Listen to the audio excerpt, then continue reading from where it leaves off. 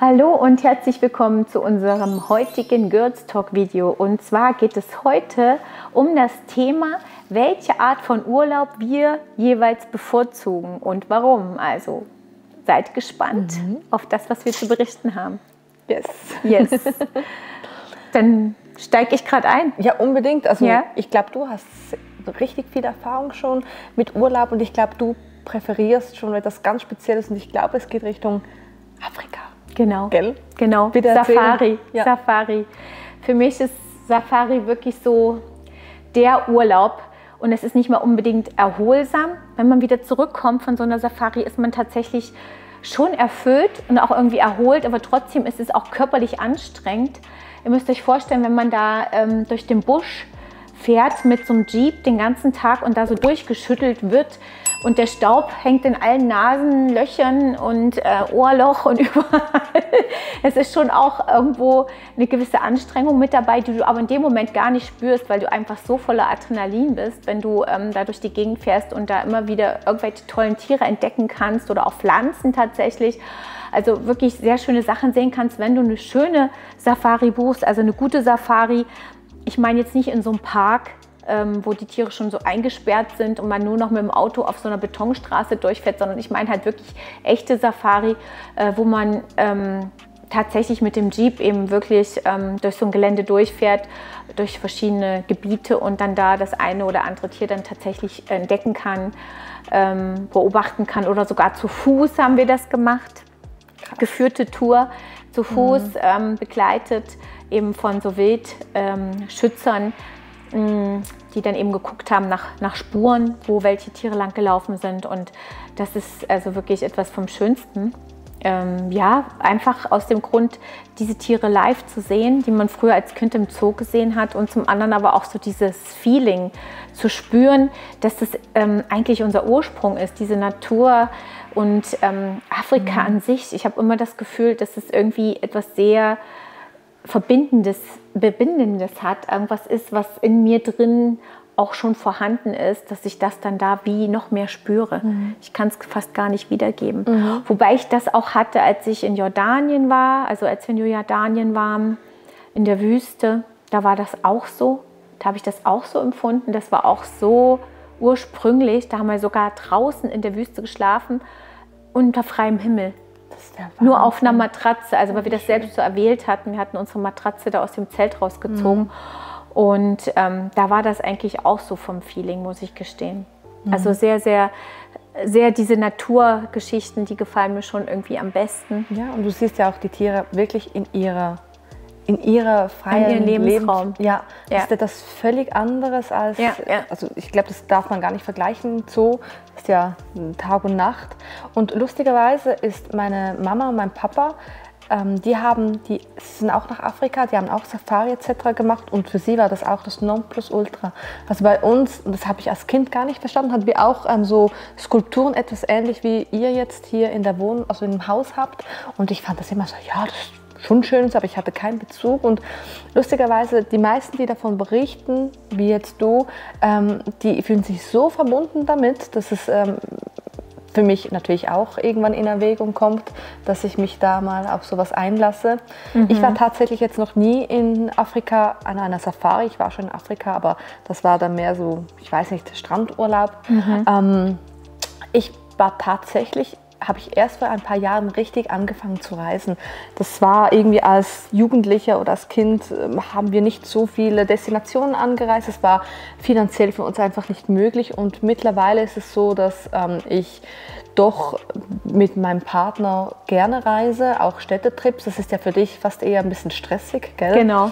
Ähm, das finde ich schon noch schön und ich glaube jetzt, wenn ich meinen Alltag auch selbst gestalten kann nächstes Jahr, Selbstständige, ähm, werde ich mir das auch ein bisschen mehr einplanen, dass ich vielleicht auch unter der Woche vielleicht mal ein mhm. paar Tage fortgehen. Nicht so voll ist. Richtig, genau, ja, so ja. gegen den Strom zu schwimmen.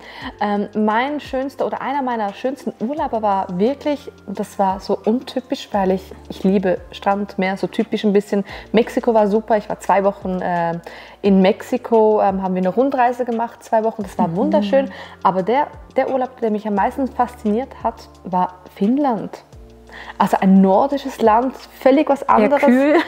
Es war nicht kühl, es war Sommer. Mhm. Es wurde auch nie richtig dunkel. Da ist er wirklich mit der. Ah, ja, ja, also sie haben ja im Winter ja. haben sie irgendwie 16, 17 Stunden war ist da ähm, dunkel fast und ähm, der Rest ist hell und umgekehrt im Sommer. Da wurde es glaube ich gegen 12 Uhr abends langsam ein bisschen dunkel. Mhm. Und ich glaube um halb vier, vier ging die Sonne wieder auf. Also es war sehr speziell und mich hat aber auch die Natur so fasziniert. Das war, Finnland ist halt sehr eben und wir haben uns da ein Airbnb gemietet. Tim hatte da seinen Wettkampf und wir waren vier, fünf Tage dort. Das war so ein Mini-Urlaub. Aber trotzdem haben wir natürlich etwas von der Gegend mitbekommen. Und du kamst wirklich raus. Es war vielleicht ein bisschen ähnlich wie hier, nur nicht hügelig, sondern du kamst wirklich raus aus dem kleinen Airbnb. Es war so ein Häuschen, super süß. Und du sahst wirklich ein, ein, Fuchs, du sahst Reh, also wirklich mitten sowas, in der Natur. Ja, du warst wow. einfach so mitten, mitten in, dieser, in dieser Natur und das war so eindrücklich, das hat mir so gut gefallen und das war so wie eine kleine Offenbarung, dass mir eigentlich dieser Strandurlaub gar nicht so viel geben kann wie jetzt die Natur. Wie du es schön gesagt hast, ich glaube, mhm. der Ursprung zurück zur Natur ist schon, äh, das fehlt und das ist halt bei uns jetzt, vor allem bei mir in Zürich Stadt, halt nicht so gegeben. Und das hat, das hat mich so beeindruckt. Das war so, so, so schön. Mhm. Ja. Ich glaube, bei mir liegt das auch ein bisschen in dem begründet, dass ich halt tatsächlich im Job ja immer sehr viele Menschen um mich, um mich drum herum habe. Also nicht nur meine Mitarbeiter, sondern eben auch natürlich die ganzen Patienten. Dann in der Schule auch die ganzen Schülerinnen. Das heißt, ich bin halt eigentlich immer von vielen Menschen umgeben. Und darum sind so Städtetrips, wo man ja zwangsläufig im Prinzip jetzt, wenn man in so eine Stadt fährt wie Barcelona mhm. oder so, immer wieder auf Menschen trifft und eigentlich dann weniger Ruhe hat und natürlich auch weniger Natur. Klar, es ist da auch ein bisschen grün, dass das dann irgendwie vielleicht dann für mich eher nicht so erholsam ist, sondern dass mein Körper oder meine Seele tatsächlich dann wirklich mal so dieses, äh, dieses Abschalten und das Grüne braucht und auch einfach mal äh, nicht so viele Menschen drumherum zu haben. Ich glaube, mhm. das ist auch so ein Punkt. Ja. Ähm, ja, den ich da anspreche, der, der das ähm, sozusagen mit unterstützt, mein Job an sich. Weil wir waren ja auch in Japan, in China, das war alles wunderschön. Mhm. Ja. Aber auch mit der Kultur und allem, es ist wirklich ein Unterschied. In Australien zum Beispiel haben, waren wir auch viel in der Natur. Das war auch mega schön. Das ist halt wirklich so, ähm, glaube ich, schon so dieses eher, mhm. diese Natur. Und wir haben wirklich keine Urlaube, die äh, langweilig sind, nie. Also Patrick ist sowieso auch so ein Typ, der dann gern immer sehr viel innerhalb von 14 Tagen sehen möchte. Und mhm. wir sind dann meistens nie nur an einer Destination. Das ja. heißt, ja. es ist immer, ähm, immer sehr, sehr vollgepackt. Langweilig wird es da sowieso nie. Aber wenn das dann so Natursachen sind, dann passt das für mich halt auch. Also wenn ich jetzt weiß, okay, ich gehe halt in zwei verschiedene Orte auf Safari, das machen ja die wenigsten. Das ist dann auch ähm, anstrengend irgendwo, wenn du mit so einem kleinen Flieger dann nochmal woanders hinfliegst. Aber es ist auch trotzdem mega schön, weil es eben wirklich sehr, sehr verschiedene Orte, auch Gebiete gibt innerhalb eines Landes, wie zum Beispiel Tansania, wo wir ja schon zweimal waren.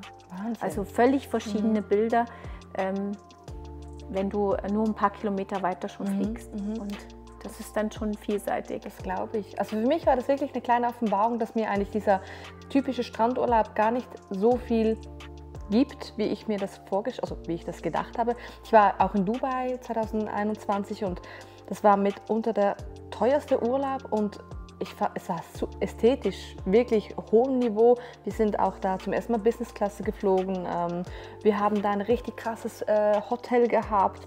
Es war wirklich Luxus vom Feinsten.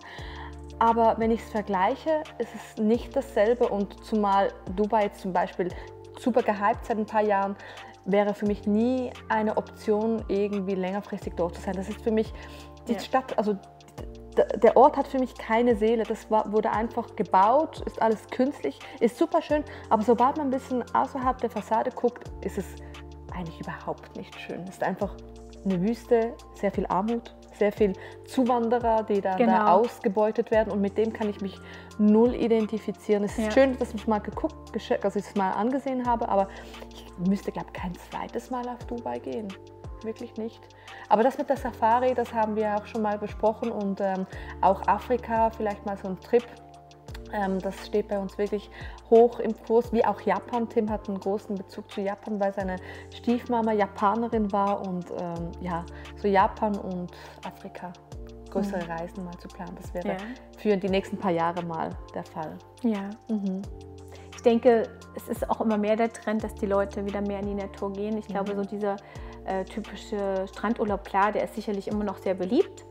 Aber ich denke oder ich habe das Gefühl, wenn ich so reinspüre oder was mir Menschen so erzählen, auch in meinem Umfeld, dass viele immer mehr auch äh, merken, dass sie auch vor der eigenen Haustür sehr schön Urlaub machen können. Ja. ja? Einfach ja. auch gezwungenermaßen durch die letzten zwei Jahre, oder? Ist man da nicht mehr so weit weggekommen. Aber das hat man dann auch genossen. Also da hat man dann auch gemerkt, dass man vor der Haustür auch tatsächlich ähm, coole Orte hat, wo man wandern gehen kann und mhm. sich erholen kann, wellnessen kann und seine Ferien genießen kann. Auch mal eine ganze Woche nur zu Hause zu sein und das dann so Trips zu machen, ist auch wunderschön. Also es, ist, es gibt viele Sachen, die einem mega gefallen, aber wenn man dann schon reist, ist wie gesagt Safari bei mir so die Nummer eins. Würdest du es nochmal machen? Auf jeden Fall. Okay. Auf jeden Fall, aber vielleicht dann ähm, Kilimanjaro noch mit einbauen. Das würde mir noch gefallen, da mal hochzugehen. Wow, ähm, wirklich? Ja, doch. Mhm. Das würde mir gefallen. Das haben wir jetzt nicht gemacht, weil da brauchst du auch wieder viel Zeit. Du musst dich akklimatisieren zwischendurch. Ähm, das wäre nochmal toll. Also Tansania ist sowieso für mich ähm, so ein, ein, Traumland. Uganda auch. Aber ähm, es gibt auch noch viele andere Länder, die man sehen könnte. Dort in Botswana zum Beispiel waren wir auch noch nicht, Namibia. Also ich denke, das wird sicherlich auch nochmal ein Thema sein. Schön, mhm. cool. Vielleicht sehen wir uns dann. Vielleicht gehen wir zusammen. Vielleicht gehen wir zusammen. das wäre schon cool. Ja. Also wir haben ja sowieso mal so was ein bisschen geplant, gedeichselt genau. mit ähm, Tierschutz oder beziehungsweise mit Tieren, dass wir da genau. mal runtergehen. Runtergehen und dann da ein paar das wäre so, Projekte machen. Das wäre wirklich für mich auch ein Traum. Ja. ja. Schön. Ja, Leute, schreibt doch mal in die Kommentare, wohin ihr gerne reist, was ihr gerne so macht und ähm, wie ihr das seht. Ähm, ja, wir freuen uns, wenn ihr uns da ein bisschen was da lasst und wenn ihr uns liked natürlich und unbedingt natürlich folgen, folgen, nicht folgen vergessen. genau den Kanal abonnieren, ganz wichtig. Ja und ja. erzählt uns von eurem schönsten Urlaub. Das würde mich wirklich, das ist auch so Inspiration immer für mich. Genau. Falls jemand da einen tollen Tipp hat, schreibt es in die Kommentare. Wir würden uns wirklich sehr freuen. Genau. Also dann schönen Tag. Ciao. Tschüss. tschüss.